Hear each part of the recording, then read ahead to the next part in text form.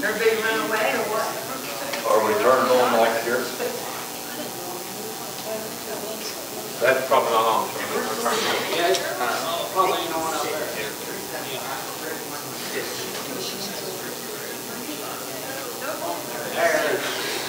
Good morning.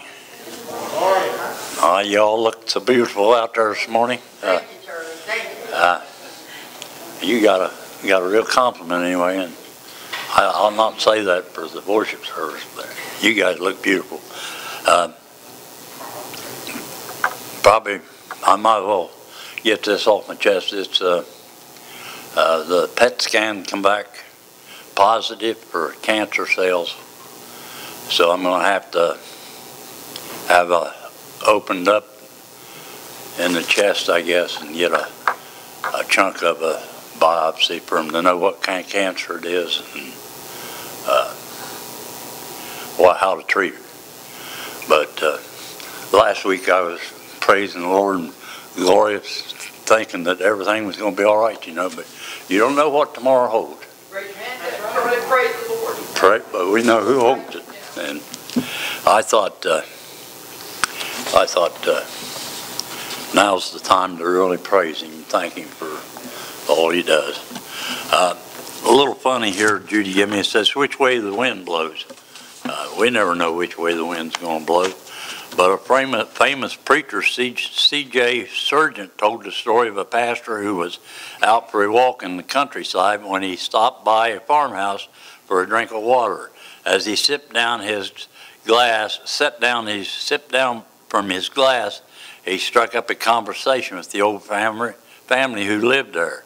As they spoke, the pastor noticed that the farmer's barn had a weather vane on it that was spinning around in the wind, which was picking up. On the weather vane, the words, God is love, were engraved. The pastor turned to the farmer and said, I have to say, I don't, I don't I don't think that's a very good way to talk about God's love. Are you saying His love is wishy-washy and changes depending on which way the wind blows? Not at all, replied the farmer. The weather vane is saying no matter which way the wind blows, God is love. So God loves us this morning, don't He? Uh, I'm going to read two verses of Scripture in Colossians chapter 2, verses 6 and 7. As you have therefore received Christ Jesus the Lord, so walk you in him, rooted and built up in him, and established in faith as you have been taught, abounding therein with thanksgiving. It's uh, it's uh, it's just thankful that uh, God gave us breath to get up this morning, uh, put our shoes on um, peace and pain. Not far, not far from our home in North Carolina is Mount Mitchell, the highest point in the eastern, uh, eastern United States. On its ridge are all are old trees that have been stunned and and girded by the hostile climate and the very rocky soil. But local craftsmen have told me that if one of these trees finally dies, he would, his wood is highly prized and the ransom is because it's so strong. The tree resists those fierce alpine winds for decades and they are strengthened in it. What happens when the wind of adversity blows in our life? Do they uh, flatten you, knock you down, stomp on your growth, or like those trees, do your growth stronger? What makes the difference? the trees that survive. I am told that those that with the deepest roots, the roots are like a anchor, helping them to survive the shame, and they don't uh, and they don't draw up the soul, helping them to grow stronger. Make sure your soul is firmly planted in Christ, as you may be rooted and built up in him and established in his faith. And that's Colossians verses 2 7. the bulletin has no anniversaries or uh, birthdays, but we're going to sing happy birthday to a girl that wasn't here last week. Does she know who it is? Miss Betty. Happy birthday to you. Happy birthday to you. Happy birthday, God bless you. Happy birthday to you. Brother Larry, Jay John, will you stand and open our Sunday school up with a word of prayer?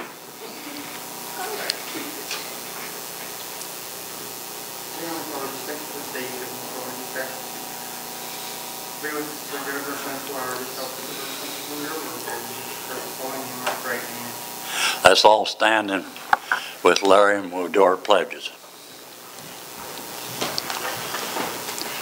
I pledge allegiance to the Bible, God's holy word. I will make it a lamp to my feet and a light to my path. I will hide its words in my heart that I might not sin against God. To the Christian flag, I pledge allegiance to the Christian flag and to the Savior, for whose kingdom stands, one Savior, crucified, risen, and coming again with life and liberty to all who believe. To our American flag this morning, pledge allegiance to the flag of the United States of America and to the republic for which it stands, one nation, under God, indivisible, with liberty and justice for all. Amen. Has anybody got anything they want to add to the service yet this morning before we go to Sunday school? Any announcements or anything? You have got announcements on your bulletin, of course. Uh, This is uh, rest home service today at 2:30. I'm sure those people down there will really appreciate you if you was to show up. Let's pray the Lord's Prayer. Our Father, which art in heaven, hallowed be thy name. Thy kingdom come, thy will be done in earth as it is in heaven. Give us this day our daily bread, and forgive us our debts as we forgive our debtors. And lead us not into temptation, but deliver us from evil. For thy is the kingdom, and the power, and the glory forever. Amen. Teachers may take their classes.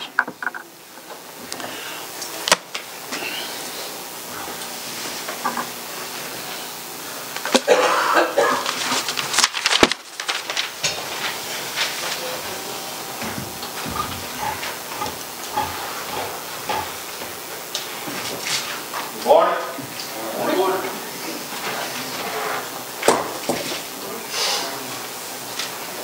How is everybody? Amen. Blessed.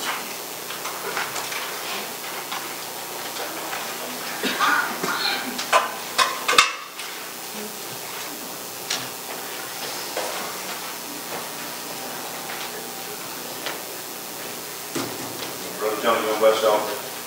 Dear Heavenly Father, we want to thank you for another wonderful day you give us, Lord. As we all take up this offering, we want to bless everybody. You, Lord, and bless those who don't. All this glad in Jesus' name. Amen. Amen.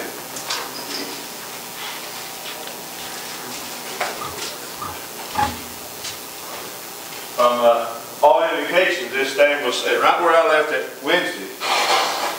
Was also right as where I left my life. I had over a little hurry. And uh, Rhonda did grab it, and I did grab it. Uh, What Rhonda normally does, or has handled. But is the only Bible I had, I'd be hurting. with it. Yeah, right. Amen? If, uh, and then again, you say, well, how did you prepare prepare for the Sunday school lesson? Because guess what? This is tucked in here. You know how I prepared? I got on the book. All right? So, you got to worry, uh, uh, when you get old and forgetful like I'm getting, you, uh, you make interventions uh, or, or provisions some, some way, somehow this morning. A good lesson, we're going to start out in the book of Luke today. And uh, start out says with the introduction of God's intervention. The introduction to God's intervention. And I, I wonder about uh, the writers of our, our lessons, you know, because if you publish these things after so many years, you're gonna come back to the same thing. Right? I mean, there's four quarters in, in a year, you gotta produce one of these every three months and on different things. And I don't know exactly when the last time that uh, they actually had the book of Luke in, uh, the text, but probably a good definition or a good uh, of uh, title to me from what I gather of the lesson today should have been really the introduction of the forerunner. And, and I realize it's uh, when they under, I understand what they're trying to say to God's intervention because we got to realize that, that number one for 400 years up until we come to this scripture from the book of Malachi to here, it is 400 years of what's called in biblical terms as the dark ages when uh, God didn't speak to nobody. There was no open vision. There was no prophets in the land. And uh, I've been studying this week uh, in the book of Ezra. And again, I, I told you Wednesday that I just finished up First and Second Kings, and then I skipped the Chronicles because again, they're, they're pretty well the same thing. Not something I to study before, but I wanted to go on into to Ezra because anyway, at the end of uh, the Kings is the carrying away, and in the book of Ezra is the return. And I talked to you Wednesday night, I believe it was, I mentioned about how one of the kings, uh, Josiah, they found the book of the law and they brought it out and found all the things that, that God was going to do, how he was going to punish the nation of Israel for their sins. And then they would begin to repent and to, to turn back to God, but it was too late. They were carried away. Ezra, we find the return. And when they got back, how fast they begin to fall back into idolatry absolutely just blows my mind. With everything that they went had went through. And God really, I mean, gives up. You feel that like it, you know, it's not that God gave up on society or on mankind because Remember, Christ was the Lamb of God slain before the foundation of the world, but it seems like that the nation of Israel is just hopeless. And, they're turned over, and they're really not a nation. From the book of Malachi, when they fall away there again and they come in and the Romans take over, from that period of time, all the way up until 1948, they were out of existence and scattered abroad and not a nation for close to 2,000, well, uh, close to 2,400 years. And that, you know, that's, to me, that's just amazing. Uh, the thing is, though, you, you're thinking that 2,400 years, and I realize I haven't touched anything yet on our lesson, but in that 2,400 year period, it looks like they're forgotten. But then in that 2400 period, year period, here comes Christ. And then there's the, uh, again, 2,000, almost 2,000 years after he comes before they finally become a nation or a people again, not wandering. And since then, people are still pouring back into the nation of Israel. It, it has the fastest growing, the strongest economy of any nation in the world right now. It is the fastest growing. All right. Key verse is actually the first verse out of our lesson. said, But the angel said unto him, Fear not, Zacharias, for thy prayer is heard, and thy wife Elizabeth shall bear thee a son, thou shalt call his name John. Now, lesson objectives is to see how God broke human into human history to rejoice in the unmerited favor of God and to be awed by what God can do. Now, again, it's not covered in our lesson, but I think we have to look at the fact about Zachariah and Elizabeth. Number one, he was a priest. All right? But number, not only was he just a priest, he was a true man of God. He was righteous. He followed the scripture. Uh, again, they did not have the daily sacrifice at that time. They burned incense, but they weren't offering up sacrifices uh, like they had been 400 years earlier in the scriptures. That had been taken away. That privilege had been taken away from them, and it's still taken away today. They have not started that back yet. They, I, I told, told you a couple months ago, I believe it was, that they have, eh, they have actually already picked the first high priest for the new temple. They have the garments, they have the heifer, they have everything they need to start back that daily sacrifice. The only thing they don't have is a temple. Why don't they have a temple? Huh?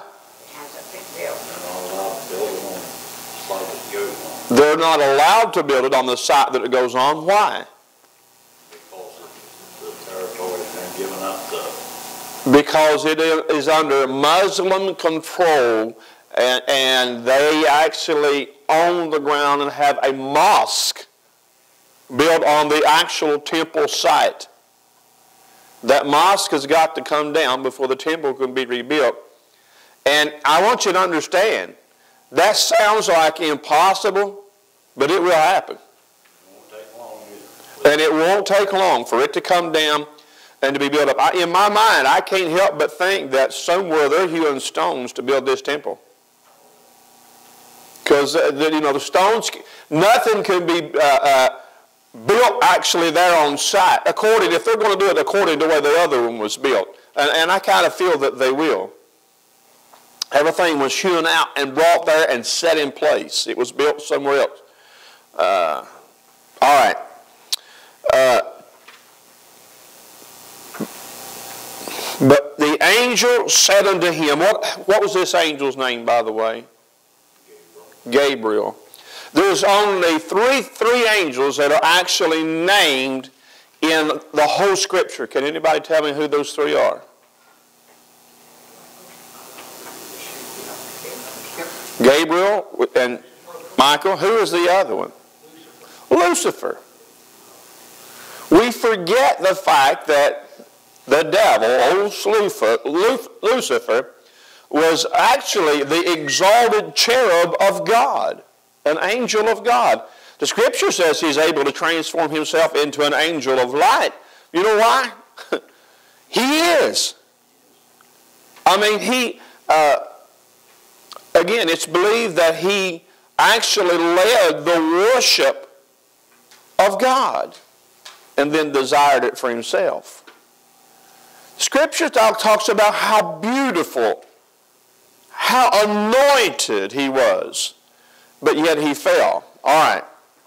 So Gabriel comes to Zechariah and he says, Fear not, for thy prayer is heard, thy wife Elizabeth shall bear thee a son, and thou shalt call his name John. What makes this a miracle? Is it the angel coming? It's because number one, she was she was past the age of childbearing. It wasn't physically possible for them to have a child in man's eyes. There was just, I mean, even in Zachariah's eyes. Because did Zachariah believe this? Huh? Yes, but no. And probably more no than yes. Because of his unbelief. And again, that, that's not covered here uh, in our scripture. But Zachariah couldn't speak for 10 months. How long does it take to have a baby, by the way? 10. Now, honestly, 40 weeks, you go count it up, that's 10 months. we talk about the ninth month, but that, at the end of that ninth month, that's when the child's born. All right, that's why it's called 10, 10 months.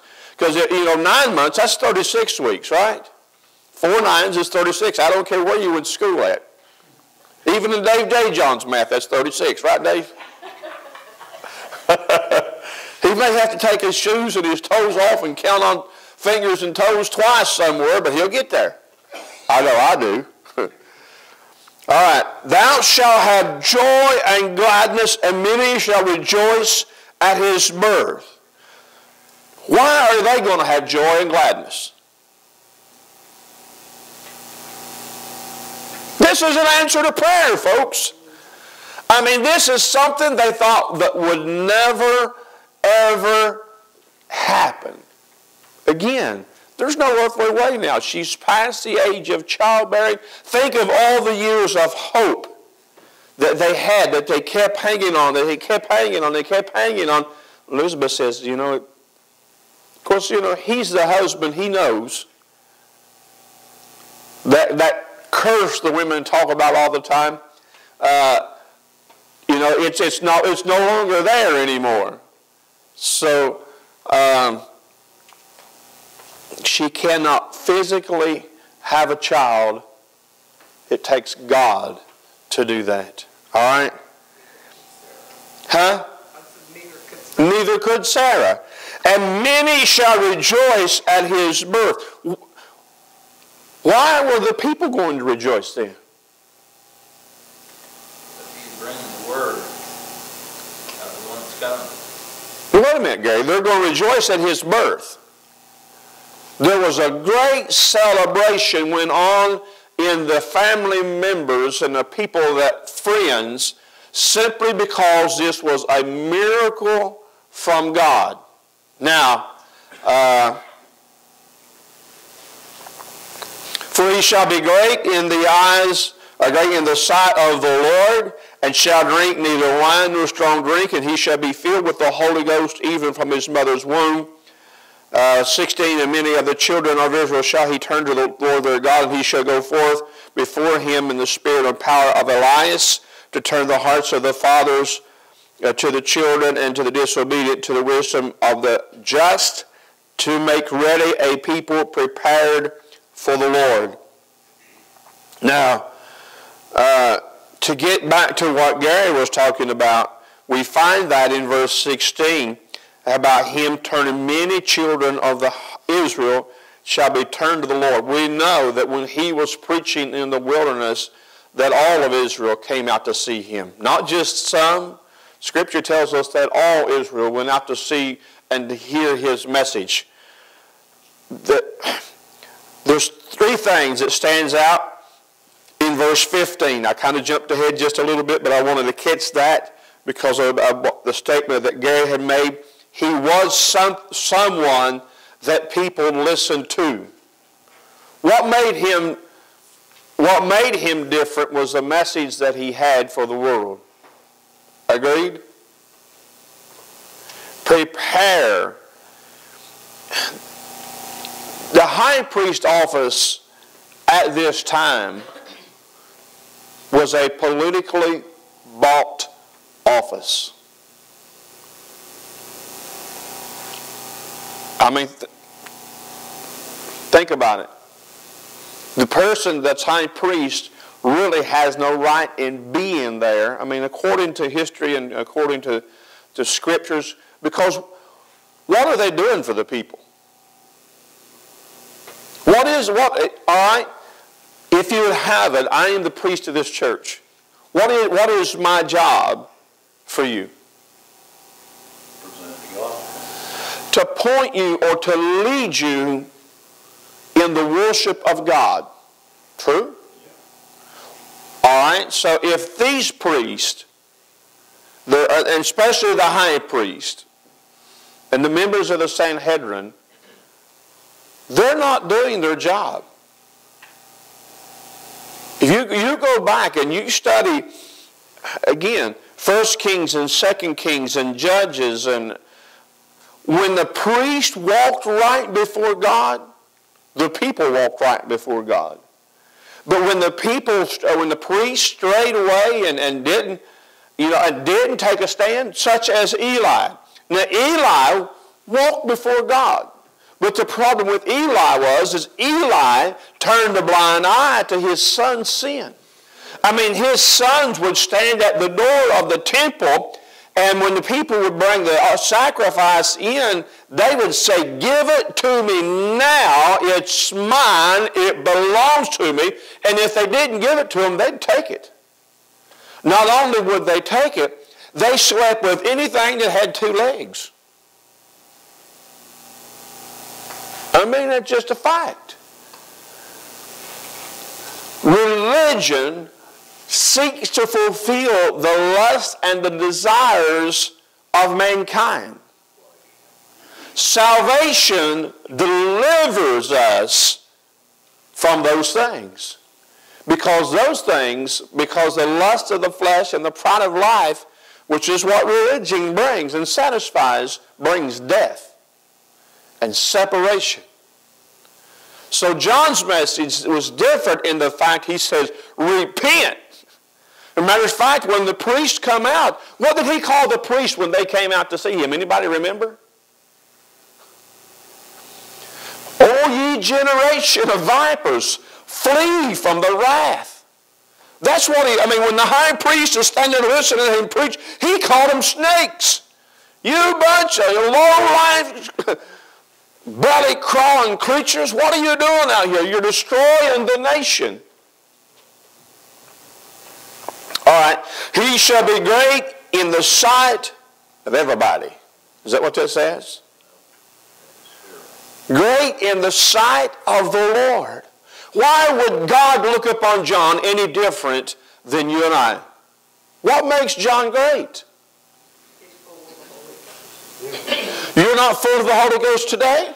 I mean, the Holy Spirit indwells you, just like it did John.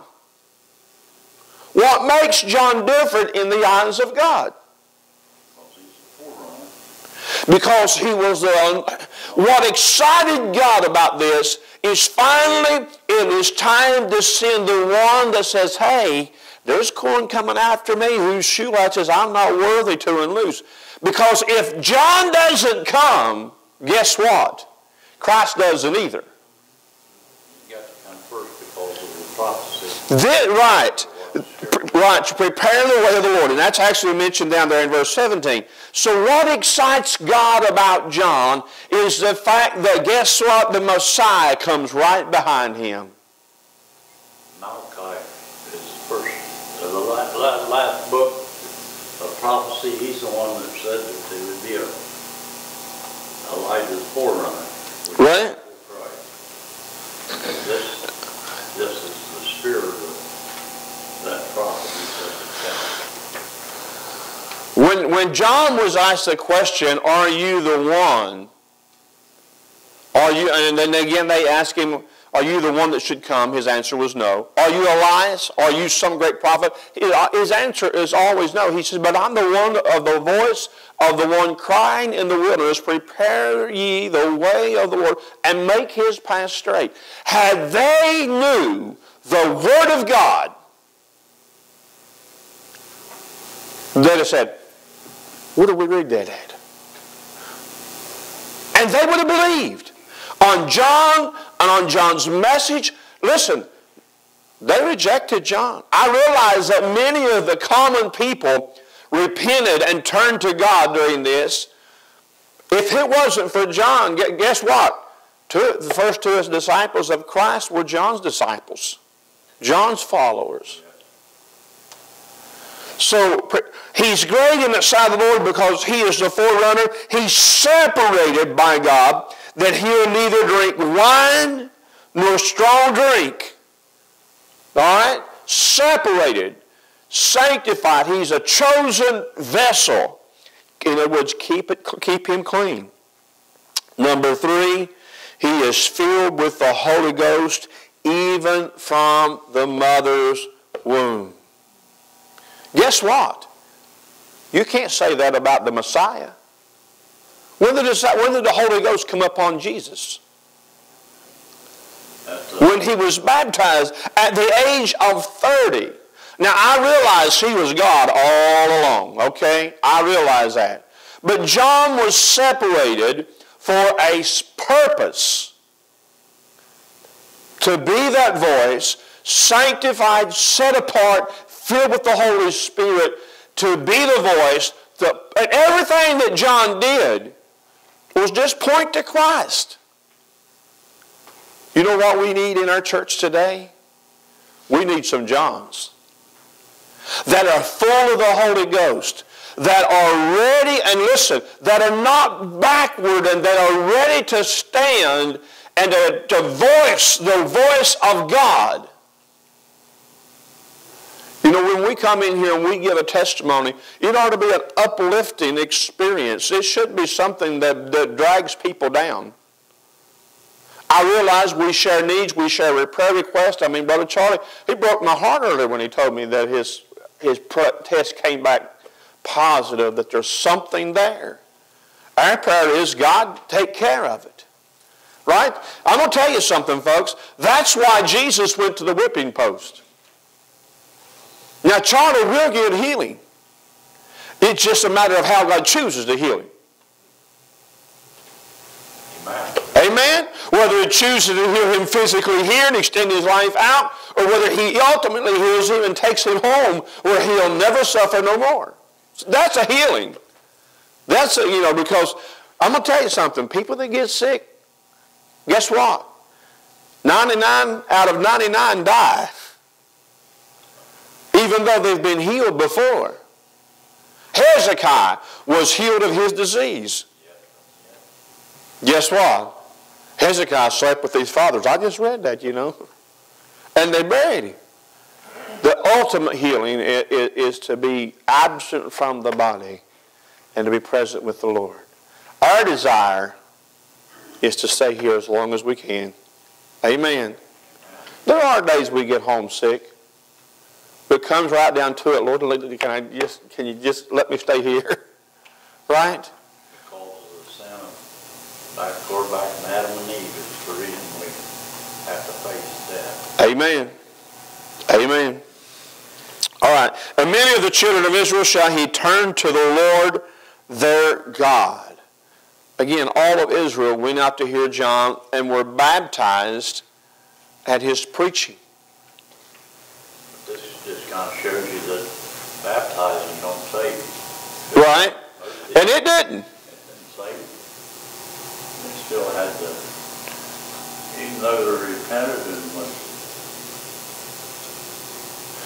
Here's the thing: is they at that point when they come to get baptized, is what they did is they repented of their sin and began to seek the Lord. Okay? We have to again remember that for so long the children of Israel had been pointed in the wrong direction. And no one had begun to say, hey, you know, it's time we turn back to God. And I think that's part of what's happened in our country today. Is for a long time, I mean, again, you had all these preachers that were just tickling people's ears and good motivational speakers that didn't have any anointing on, on their lives to preach, and they're still out there.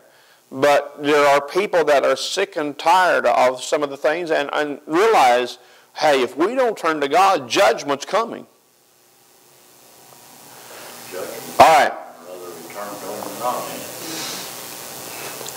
And he shall go before him in the spirit and the power of Elias. What does this mean? In the spirit and the power of Elias or Elijah.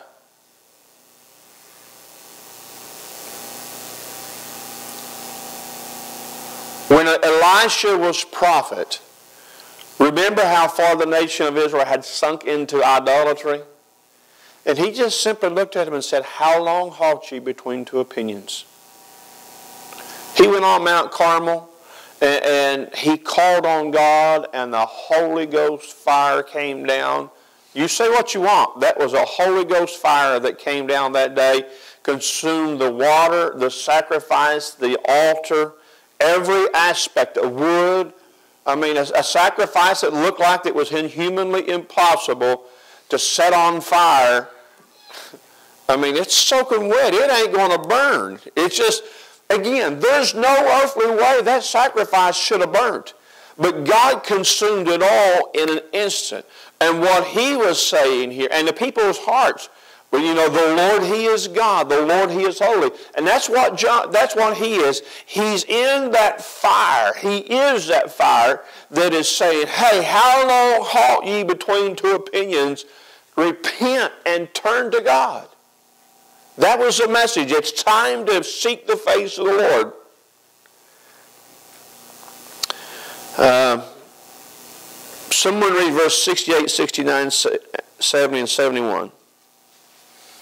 Blessed be the Lord God of Israel, for he hath visited and redeemed his people, and hath raised up a horn of salvation for us in the house of his servant David, as he spoke by the mouth of his holy prophets, which have been since the world began, that we should be saved from our enemies and from the hand of all that hate us. N- number one, who, who's speaking here? This is Zechariah, okay? He's praising God when? After the birth. Zechariah again, for the whole time that she was pregnant, actually from the day that the angel was there, we don't know exactly what time that, the, that she actually conceived, but it had to be soon. You know, the thing about this priest, I mean, he, they didn't serve for a year at a time, they served a month at a time. But they served the same month every year for, from the time they were uh, 20 to the time they were 50, if my memory serves me correct. Uh, for the, a 30-year period, they would had same month they had to come up, and, and that was job, their job, to make sure that the lamp didn't go out and to make sure that the incense was offered up.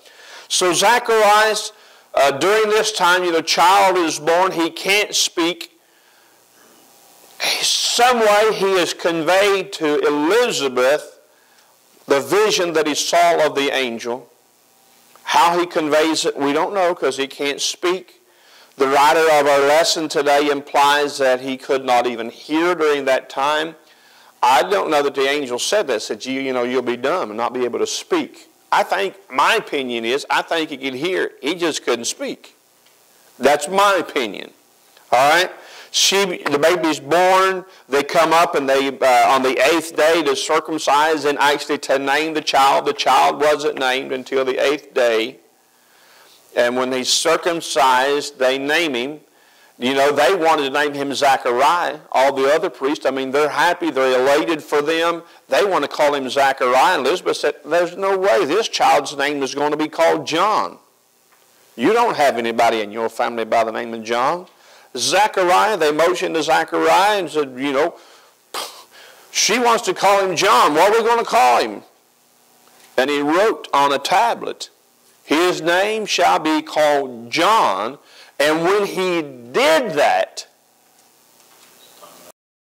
he was loose and he began to, and then this is, this is his Praise to God. Blessed be the Lord God of Israel, for he hath visited and redeemed his people. Now, how has he redeemed his people here?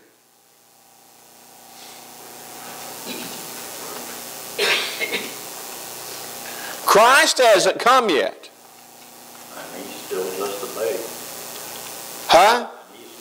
This is an eight year, eight day old baby. How is, how is it that Christ is, or, or, or that the nation has been redeemed? Because Christ is coming because of this. Here, here's how. Elizabeth has a cousin. Anybody know her cousin's name? And Mary came where? To Elizabeth's house. And when she said, hey, I'm here. John the Baptist, being six months in her pregnancy, he leaped in the womb. So they know that the virgin has conceived, folks. They know redemption's on its way. Not only are they excited because God has heard and answered their prayer for the Son, but God, they're excited because God has heard and answered their prayer for the nation. not only, you know, you and I get excited about this because God did not just redeem his people, Israel, he redeemed you and I. Whosoever will. The, the, all that call upon the name of the Lord. The Gentiles, every, all human race at this point in time is redeemed. Every soul from Adam until the last man is actually redeemed. Some accept it, some reject it. Christ, let me tell you something, you can't take, the, take, take part of the scripture and not take it all because Christ died for the sin of the whole world. Did he not? So they're excited. John, he's, he's excited because he is redeemed. Uh, notice the word visited. What does it mean here when it says that he has visited? Visit there doesn't mean like what we actually, when we talk about visit, I mean, when we go out, uh, we, we go to someone's, what it means is, is he's looked upon. He's turned toward the people. He's, he saw their needs. Okay? And hath raised up a horn of salvation for us in the house of his servant David. Is he speaking of John here?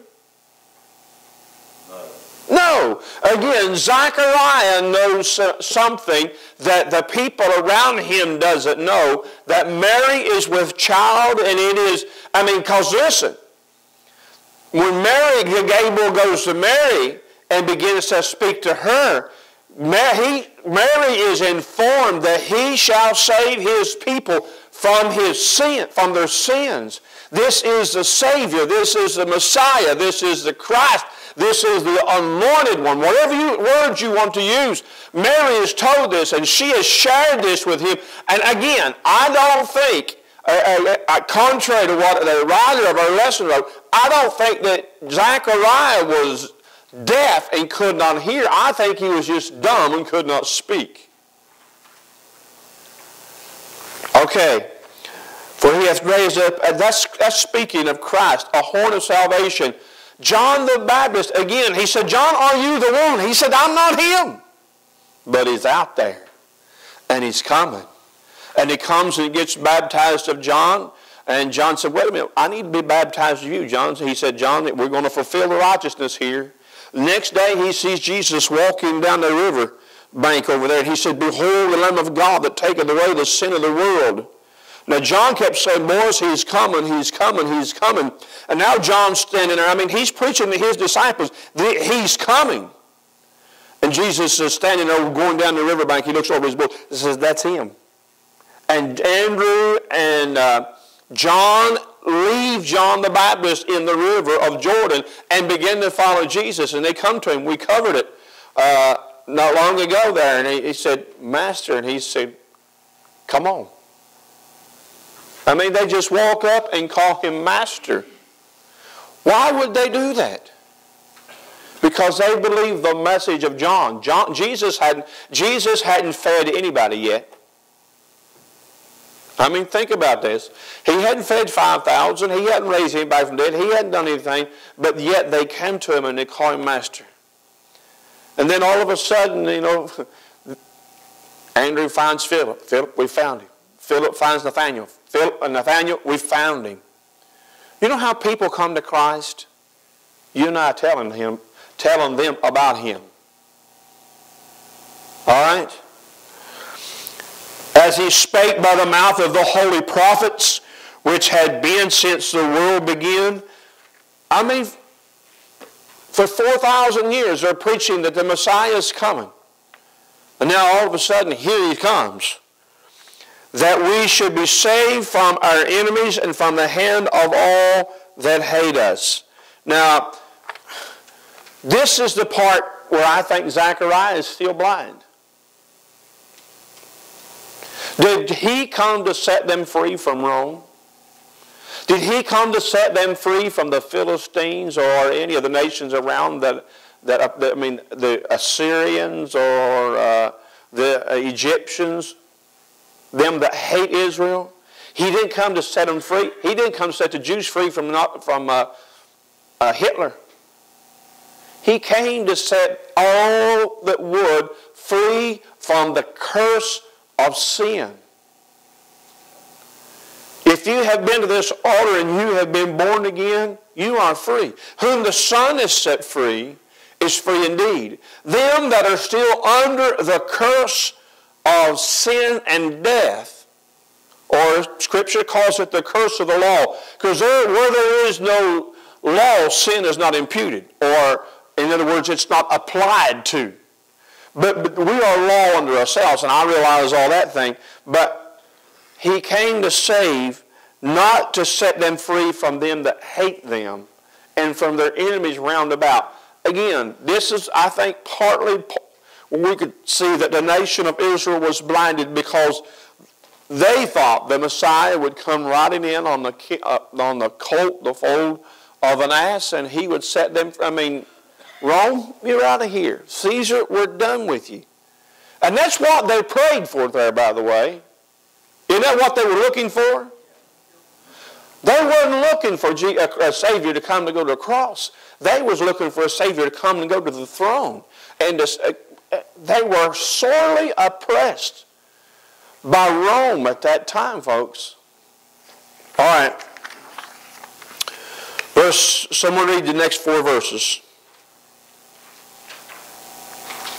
To perform the mercy promised to our fathers and to remember the covenant, the oath which he swore to our fathers Abraham, that he would grant unto us that we being delivered out of the hand of our enemies might serve him without fear, in holiness and righteousness before him all the days of our life. Notice again, this is a continuation, and again, it is a promise to the nation of Israel, but that Jesus, again, didn't come. He came to his own, all right? But his own received him not. To perform the mercy promise of our fathers to remember his holy covenant. What was the promise?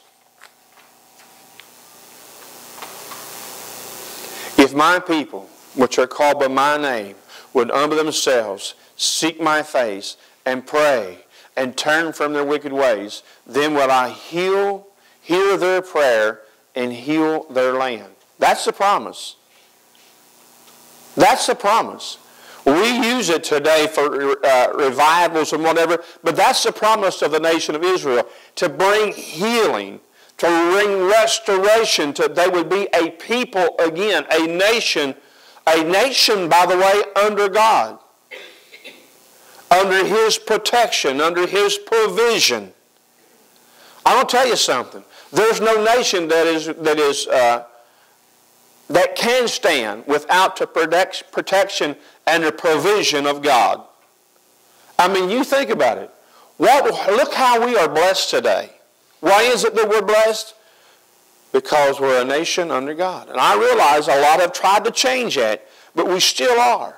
Yes, we are. We still are one nation under God. I realize that there's a bunch of, among us that, that hate God and all these different things. And, and uh, verse 73, the oath which he sware unto our father Abraham.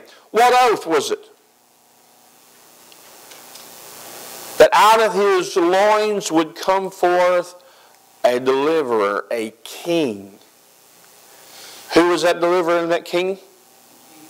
Jesus. That he would grant unto us that we would be delivered out of the hand of our enemies and might serve him without fear. When is 74 going to be fulfilled? Because it hasn't been yet. They have enemies all around them. Again, the nation is there now. Again, it took uh, 2,000 years almost after, 1948 years later, after Zechariah is saying this, they finally became a nation, a people again. But listen, Everybody around them hates them.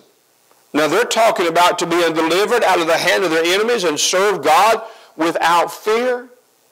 They cannot do that now. When is this going to happen? In the thousand year millennial reign. When Christ is ruling and reigning Uh, and, and David, by the way, is back to reigning on the throne of Jerusalem. In holiness and in righteousness before him all the days of our, of our life. A, a child during the millennial shall die being a hundred years old. That'll be a hundred will be a young life. Look what we've got now. All right? In holiness and in righteousness before Him all the days of their life. That's how long that they want to fear you. Or, or live without fear in front of their enemies. And I think that you and I uh, will be privileged to that. Here's the blessing for you and I while all this is going on for the nation of Israel. Guess what we're at? Guess what we have? Now, I know some of you think you have a glorified body now, but you don't. But you will during that period of time. Right? I mean, we stand in front of the mirrors and, They look at all this. and look at all this. They just don't realize how blessed they are, do they, Johnny? Why is she looking at you like that for, Johnny? Why is she looking at you like that for? She's just in amazement still yet, ain't she? That's what it is. All right, let's take a break and we'll come back for our worship here in a few minutes.